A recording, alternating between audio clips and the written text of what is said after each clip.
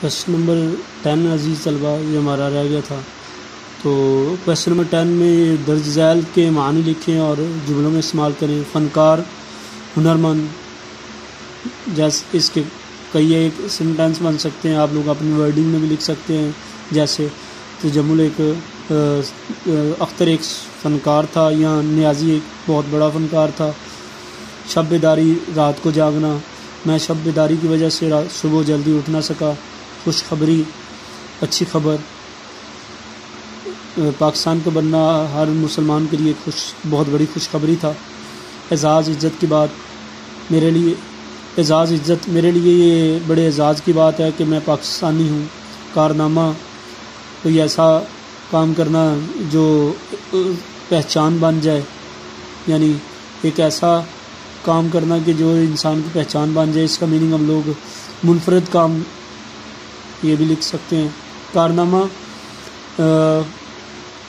पाकिस्तान का बनाना कैद अजम का एक अजीम कारनामा था। शीश महल ऐसा महल जिसके चारों तरफ़ शीशे लगे हों। शीश महल।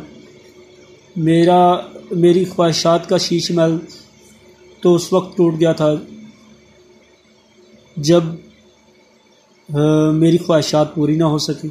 या इसके अलावा कई एक सेंटेंस बन सकते हैं। कश्मकश। कश्मकश का मतलब परेशानी में मुबतला होना, परेशान होना।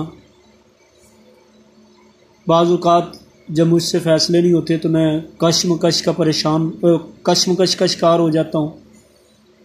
कश्मकश का मतलब किसी फैसले पर ना पहुँचना, ये भी है। खींचा तानी झगड़ा। हम लोगों ने लास्ट टाइम वर्ड मीनिंग में झगड़ा भी पढ़ा था। नुमाइश गाह ऐसी जगह जहाँ पर नुमाइश लगाई जाए।